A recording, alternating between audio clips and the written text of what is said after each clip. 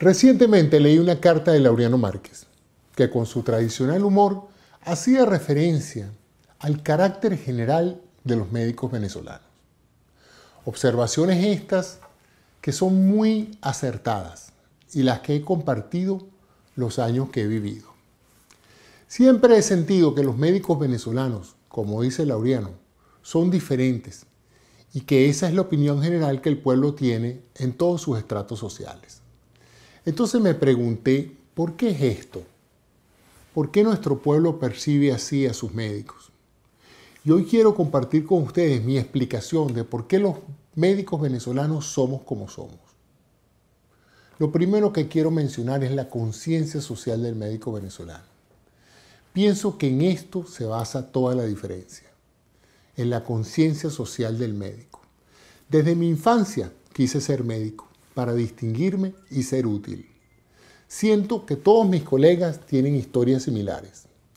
El ganar mucho dinero nunca realmente fue un motivo importante para la mayoría de los médicos. De hecho, conocimos muy pocos médicos ricos en nuestro entorno formativo universitario y aún en la práctica privada. Muchos colegas han vivido y siguen viviendo de sus modestos ingresos. Esto a diferencia de otros países, donde en general la presión social es por adquirir a través de la medicina un estándar de vida muy alto y así poder pagar la enorme deuda de una educación médica costosa. El médico venezolano atribuye su formación al estímulo de sus maestros y a la confianza que el pueblo nos brindó. Pero en otras latitudes, son los logros profesionales a los que se les atribuye egoístamente la capacidad individual de cada uno y el título de médico es más bien visto como un retorno a la inversión económica e intelectual que se ha hecho. Dicho en otras palabras, el médico venezolano siente que tiene una deuda con la universidad y con el pueblo. El médico en otros países siente que tiene una deuda con un banco o con su familia. Venezuela ha sido en nuestra corta historia republicana una incubadora de excelentes médicos, comenzando por el prócer, presidente y hombre sabio, José María Vargas, y seguido por una playa de hombres de ciencia con una profunda sensibilidad social, desde Racete y Rangel hasta José Gregorio Hernández. La solidaridad del médico venezolano es consona con la del pueblo, y ningún pueblo tan solidario como el pueblo venezolano. La Venezuela de la segunda mitad del siglo XX, la que me vio nacer, fue un país de gente generosa, solidaria, se lo fueron con los presos, con la disidencia, con los extranjeros que llegaron a nuestras tierras y las hicieron su nuevo país. Conversen con los inmigrantes italianos, portugueses, judíos y árabes, alemanes, españoles que llegaron a nuestra tierra. Y luego con los chilenos, peruanos, ecuatorianos y colombianos que han hecho de Venezuela su país. Y verán cuánta solidaridad pudieron ellos encontrar en este pueblo que en ocasiones tanto criticamos. El médico venezolano busca la excelencia en Venezuela, los estudios médicos son gratuitos. Nos formamos en hospitales públicos, donde es prácticamente imposible no adquirir una conciencia social hacia los pobres, los enfermos y los necesitados. Se nos enseña desde el primer año de carrera que nos debemos a los pacientes, que por su pobreza y sus males pudimos aprender. Y debido a esto, tenemos una gran deuda moral con ellos.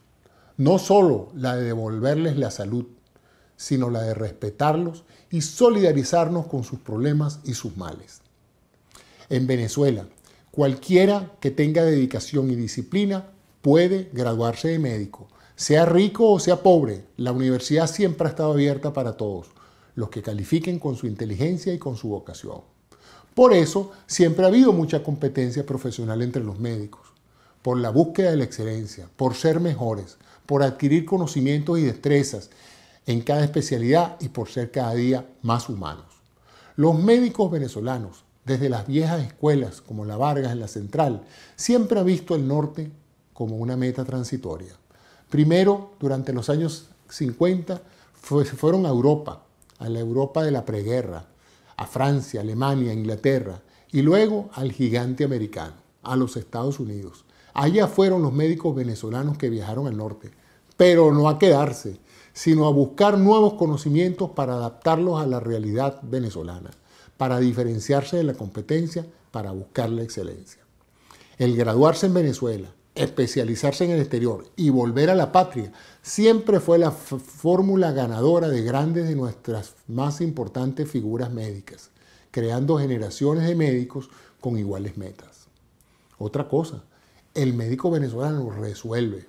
El habernos formado en hospitales públicos nos enseñó a amarlos y por eso fueron muchos los que aún terminando sus posgrados se mantuvieron vinculados a estos hospitales públicos trabajando como docentes, como adjuntos o como médicos en general. Lo hicieron por amor a la profesión, por amor al pueblo, a esos pacientes que siempre han creído en ello. Ciertamente no por los salarios, que toda la vida han sido salarios de hambre, tanto en la docencia universitaria como en la asistencia pública. El médico venezolano no emigraba, viajaba para formarse mejor, pero regresaba, porque solo en Venezuela podía sentirse médico, entre su gente, entre sus pacientes. En el exterior podía medirse científicamente con otros y confirmar que su formación había sido de primera categoría, que en la práctica superaba con creces las iniciativas de otros colegas. La proactividad del médico venezolano en el exterior es legendaria y siempre resalta ante la timidez de otros.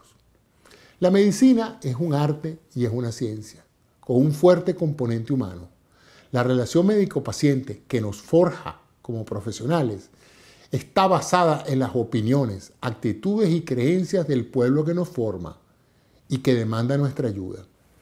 Esta dualidad de la práctica médica venezolana, que se caracterizó por un ejercicio mitad de tiempo en el sector público y mitad de tiempo en el sector privado, fue algo feliz para la sociedad. Permitió un ingreso económico digno a los médicos, sin alejarlos del pueblo que los formó. Creo que es algo muy autóctono porque no lo he visto mucho en otras latitudes. El sector público de salud se benefició de un gran talento que no podía pagar y el sector privado se benefició de una sensibilidad humana que nunca pagó. Así se formaron y se han seguido formando los médicos venezolanos, de los que habla Laureano, esos amigos compasivos, preparados, sensibles, que resuelven problemas. No solo médicos, sino emocionales, económicos, Médicos que no descansan hasta que no resuelven tus problemas. Porque en Venezuela ser médico no solamente diagnosticar y operar, es resolver de todo, es buscar el cómo, el recurso, el dinero, la medicina, los insumos, es entender al paciente y a su familia. Y creo que para la mayoría de los que he conocido y admirado, lo último que realmente les interesaba era cobrar. Dificulto que yo haya visto médicos con más cuentas inmensas por cobrar que los que he visto en Venezuela las instituciones no les pagan, los seguros no les pagan, los pacientes no tienen con qué pagar y aún así dan lo mejor de sí, subsidian a sus pacientes, los exoneran, los consuelan, les traen las medicinas y lloran y padecen por sus desgracias. Arriesgan la vida protestando en las calles, peleando y no por los salarios, sino por la salud y la vida de sus pacientes. Créame, yo he viajado y he trabajado con médicos en muchas latitudes y esto es único en el médico venezolano. Por eso quise hoy dar este testimonio, mi explicación de por qué pienso que el Laureano y el pueblo venezolano sienten lo que sienten por nuestros médicos. Ahora que estamos esparcidos por todo el mundo, ahora que otros pueblos se benefician de nuestros talentos y de nuestra humanidad, seguimos desde afuera y desde adentro, de la patria, dando lo que aprendimos, la herencia de nuestros maestros. Primero, no hacer daño y segundo, que el paciente y su bienestar siempre, siempre van primero que nuestros honorarios. Bravo por mis maestros, bravo por los que me formaron a mí y a muchos como yo, que aún después de tantos años sentimos lo mismo que sentíamos cuando nos graduamos, que nos debemos al pueblo que nos formó y a la patria que nos vio nacer. Gracias por su atención, les habló José Antonio Cisnero, un médico venezolano.